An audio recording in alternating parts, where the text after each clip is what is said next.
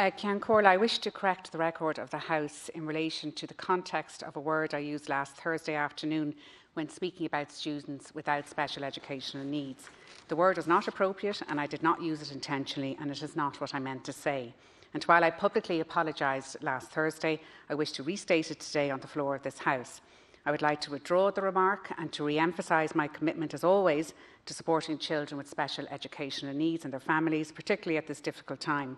And in that context, I also want to clarify that my early comments on media and reference in this chamber today pertained to looking after our most vulnerable in society, which children with special educational needs are. It was meant as nothing more than that, and at no stage, Ceann Comhairle, would I compare these two very different situations. Come on,